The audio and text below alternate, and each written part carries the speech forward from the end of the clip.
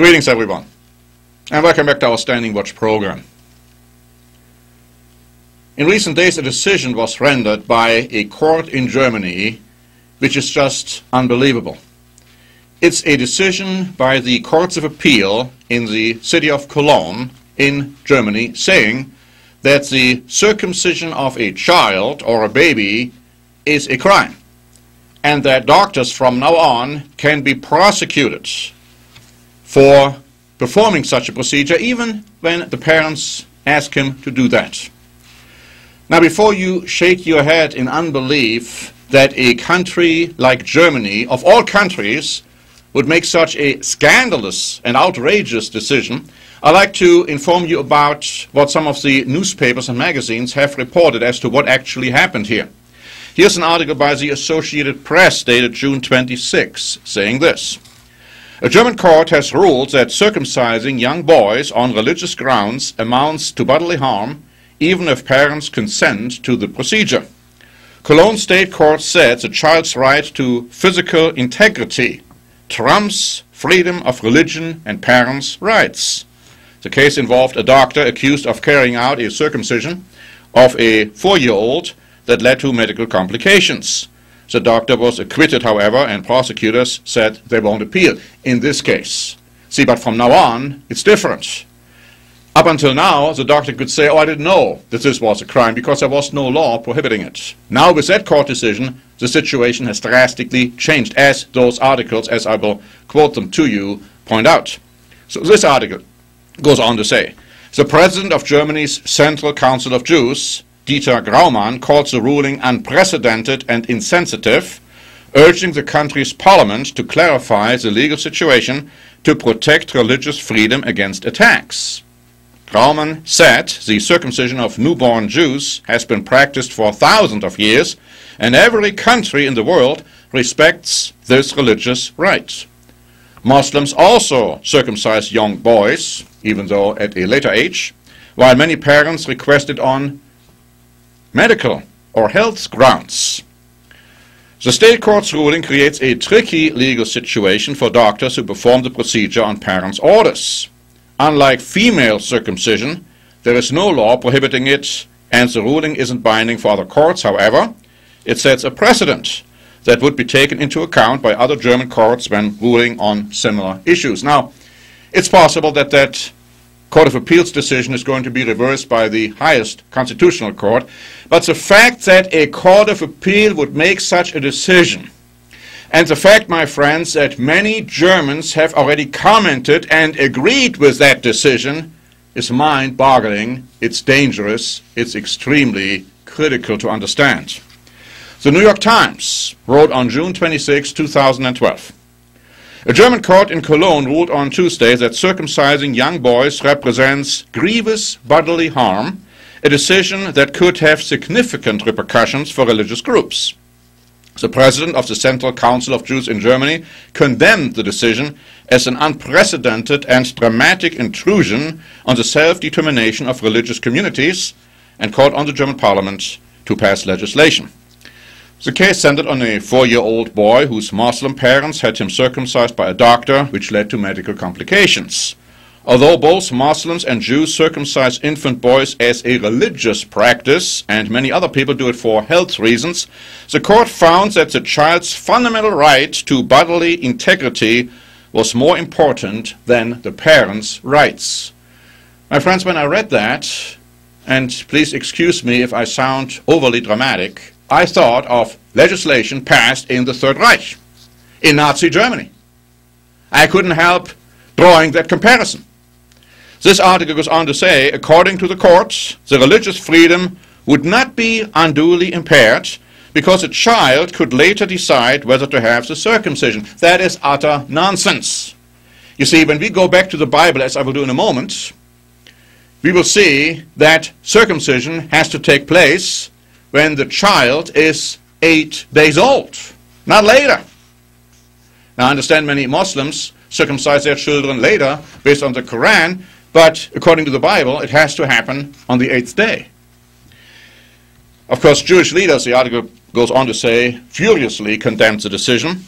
The decision by the court places an intolerable burden on the free exercise of religion by Jews and also by Muslims who practice male circumcision as part of their religious faith. Abraham Foxman, the Anti Defamation League's national director in New York, said in a statement. While the ruling did not appear to have specific anti Semitic intent, Mr. Foxman said, its effect is to say Jews are not welcome, and Muslims are not welcome either. Holm Putzke, a criminal law expert at the University of Passau, told the German news agency that the ruling was not binding for other courts, but could send a welcome signal because that guy is all for prohibiting circumcision. It goes on to say, after the knee jerk outrage has faded away, hopefully a discussion will begin about how much religiously motivated violence against children a society is ready to tolerate, he said. Now, I want to give you another article, this time by the Jewish press, which had this to say on June 26. A Cologne district court ruled on Tuesday that parents may not have their sons circumcised for religious reasons. The ruling has angered Muslims and Jews. Non medical circumcision. What they mean by that is if you have not a medical reason in a particular case to circumcise your child. So, non medical circumcision is a quote unquote serious and irreversible interference in the integrity of the human body, the court declared, essentially criminalizing religious circumcisions performed by Jews and Muslims. The court now considers circumcision a crime of bodily harm. The court decided that a legal guardian's authority, so let's say the parents, over a child does not allow them to subject the child to the procedure. The court also rejected the notion that religious freedom, which is protected by law in Germany, should permit a guardian to make such decisions for the children in their care. And on and on it goes. You see, my friends, I consider this to be extremely dangerous. Now, let me just say that from a Christian standpoint, and we all should understand that, a Christian is no longer obligated to circumcise his or her children or to be circumcised him or herself. That was a great debate which took place in the New Testament church and in Acts chapter 15 this was discussed and this was decided by the apostles, the apostle Paul, the apostle James, the apostle Peter, that it was not necessary to continue with the practice of circumcision. Because the big debate at the time was you have to become circumcised in order to become a member of the church of God. So it is no longer necessary for religious reasons to do so. And Paul makes this very clear. Paul was saying in his letters that if you think you have to be circumcised, physically circumcised, in order to be able to inherit the kingdom of God, in order to be able to inherit salvation, then Jesus Christ has died for you in vain because the whole idea was circumcision is no longer a necessary requirement for you to obtain access to the kingdom of God.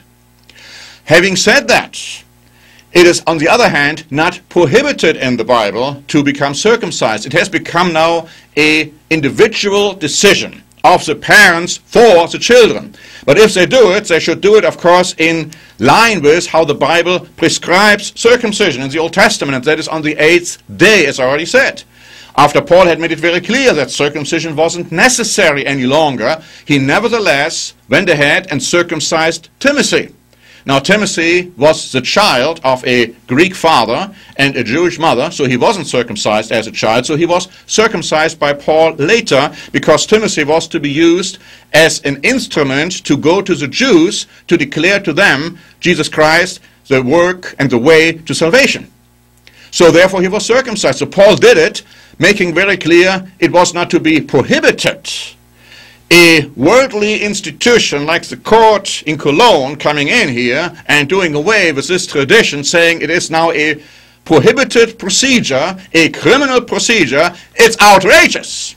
And I cannot believe that those judges over there can even sit on the bench and making those ridiculous decisions. But you see, my friends, the whole idea even goes further. Now, some, of course, circumcised because of health reasons, saying it's kind of a health law, and so therefore you need to circumcise your children. Now that is not correct either, because you don't read anything about circumcision prior to Abraham. And then Paul would have never done away with a health law if it was actually a health law given by God. See, he would have violated a law of God, which he would have never done. You see, circumcision was only a very temporary procedure, and was meant to be such a temporary procedure, like some of the other rituals, like the sacrifices, were supposed to be temporary procedures, were no longer necessary when Jesus Christ died for us. Nevertheless, what we find is that the Jews will again bring sacrifices in the near future in Jerusalem. The Bible makes this very clear. But the Bible makes it also very clear that a very charismatic leader, a political and military leader, and his armies will invade the Middle East and will then stop those sacrifices with violence, will stop them, will prevent the Jews from bringing those animal sacrifices. Did you know that this leader who is clearly identified in the Bible as the beast in the book of Revelation, as the king of the north in the book of Daniel, as the king of Assyria in the book of Isaiah and in other places, that this is a person of German or Austrian descent. Now, when you read something like a court in Cologne prohibiting circumcision, because it is now a criminal act, and then thinking that the Bible tells you that a German or Austrian leader will ultimately, with a European army, invade the Middle East and prevent the Jews from sacrificing animals, perhaps with the same kind of rationale which those German judges have now just used to criminalize circumcision, then I think it's high time for us to wake up then I think we should realize that we are marching along and marching on when it comes to biblical prophecy being fulfilled. And so, whether or not this decision, this ridiculous and stupid decision by the court in Cologne, will be overturned by the German Constitutional Court, the point is the fact that this is even possible, that a German court with German judges could already make such a decision and is being welcomed by apparently a large number of people who have been riding in, whether from the left or the right or the middle, that should really make us think. And I believe, my friends, when we realize this, we should also realize that we are perhaps much further along in the fulfillment of biblical prophecies as they are finding their culmination. It's a time of what the Bible calls the Great Tribulation, just prior to Christ's return that we might be much further along than we might have realized before.